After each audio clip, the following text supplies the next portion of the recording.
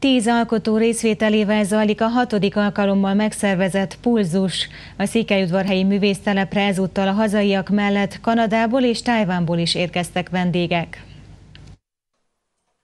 A hét eleje óta lüktet a pulzus a Spanyárház udvarán alkotnak a meghívott művészek. Berze Imre a tábor szervezője, ötletgazdája azt mondja, mindig igyekeznek olyan embereket ide csábítani, akik törekednek a professzionalizmusra. Célként tűzték ki ugyanis, hogy magas szintű képzőművészeti értékek szülessenek az itt eltöltött tíz nap alatt. A szakmaiságot tartjuk szem előtt, és tulajdonképpen arra törekszünk, hogy helyi alkotók is más helységekből, városokból is hívjuk alkotókat, tehát egy-két nemzetközi résztvevőt is igyekszünk beszervezni a táborba. Idén tíz művész vesz részt a táborban, az udvarhelyiek mellett érkeztek Sepsiszentgyőrről, Csíkszeredából, Nagyváradról, Budapestről, Tájvánból és Kanadából is. A vendégek azt mondják, jól érzik magukat a városban, az alkotásra pedig tökéletes a helyszín a maga nyugodtságával. Hát szerintem a megfelelő hely egy művésznek, hogy alkosson.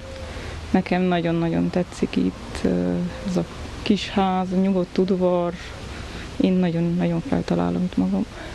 Igen, úgy gondolom, hogy ez a tökéletesen megfelelő hely uh, arra, hogy